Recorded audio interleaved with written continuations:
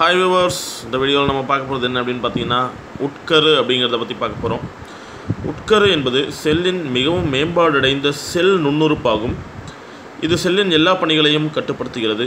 இது மூளை போன்று செயல்படுகிறது. இது வட்டமாகவோ அல்லது நீள்வட்டமாகவோ காணப்படும். இது கீழ்காணும் நான்கு பகுதிகளை கொண்டது. ஒன்று உட்கரு படலம் உட்கரு பிளாசம் குரோமேட்டின் வலைப்பின்னல் மற்றும் உட்கரு மணி. உட்கருவினை சுற்றி வெளிப்புறமாக காணப்படும் படலம் உட்கரு படலம் என அழைக்கப்படுகிறது. இதில் பல்வேறு வடிவமான நுண்துளைகள் உள்ளன. உட்கருவின் உள்ளே காணப்படும் புரோட்டோபிளாச திரவத்திற்கு உட்கரு பிளாசம் என்று பெயர்.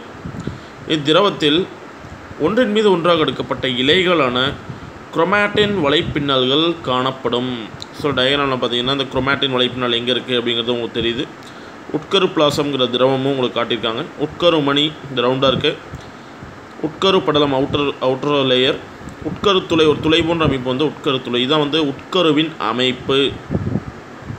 ஸோ செல் பிரிதலின் போது தனித்தனி குரோமோசோம்களாக தெரிகின்றன. உட்கரு பிளாசத்தில் காணப்படும் மற்றொரு பாகம் உட்கரு மணியாகும். இது செல் பிரிதலின் போது பெரிதாகவும் மற்ற காலங்களில் சிறியதாகவும் காணப்படுகிறது. உட்கரு மணி செல் அமைப்பாளர் என்றும் அழைக்கப்படுகிறது.